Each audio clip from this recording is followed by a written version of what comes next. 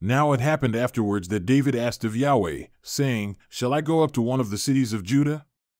And Yahweh said to him, Go up. So David said, Where shall I go up? And he said, To Hebron. So David went up there, and his two wives also, Ahinoam the Jezreelitess and Abigail the wife of Nabal the Carmelite. And David brought up his men who were with him, each with his household, and they lived in the cities of Hebron. Then the men of Judah came, and there anointed David king over the house of Judah. And they told David, saying, It was the men of Jabesh Gilead who buried Saul. And David sent messengers to the men of Jabesh Gilead, and said to them, May you be blessed of Yahweh, because you have shown this loving kindness with your Lord, with Saul, and have buried him. So now, may Yahweh show loving kindness and truth to you, and I also will show this goodness to you, because you have done this thing. So now, let your hands be strong and be valiant, for Saul your Lord is dead, and also the house of Judah has anointed me king over them.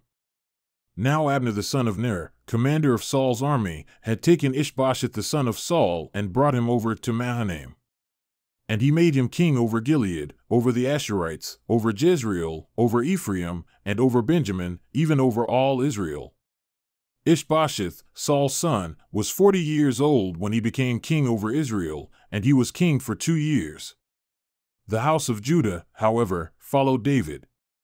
And the time that David was king in Hebron over the house of Judah was seven years and six months. Now Abner the son of Ner went out from Mahanaim to Gibeon with the servants of Ishbosheth the son of Saul. And Joab the son of Zeruiah and the servants of David went out and met them by the pool of Gibeon, and they sat down, one on the one side of the pool and the other on the other side of the pool. Then Abner said to Joab, Now let the young men arise and hold a contest before us. And Joab said, Let them arise. So they arose and went over by count, twelve for Benjamin and Ishbosheth the son of Saul, and twelve of the servants of David. And each one of them seized his opponent by the head and thrust his sword in his opponent's side, so they fell down together. Therefore that place was called Helkath Hazzurim, which is in Gibeon. And that day the battle was very severe, and Abner and the men of Israel were defeated before the servants of David.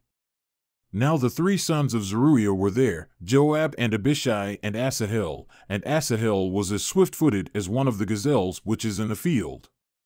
And Asahel pursued Abner and did not turn to the right or to the left from following Abner. Then Abner turned to look behind him and said, Is that you, Asahel? And he answered, It is I. So Abner said to him, Turn to your right or to your left, and seize one of the young men for yourself, and take for yourself his spoil. But Asahel was not willing to turn aside from following him. And Abner repeated again to Asahel, Turn aside from following me. Why should I strike you to the ground? How then could I lift up my face to your brother Joab? However, he refused to turn aside, therefore Abner struck him in the belly with the butt end of the spear, so that the spear came out at his back. And he fell there and died on the spot. And it happened that all who came to the place where Asahel had fallen and died stood still. But Joab and Abishai pursued Abner. Now the sun was going down, and they came to the hill of Ammah, which is in front of Giah by the way of the wilderness of Gibeon.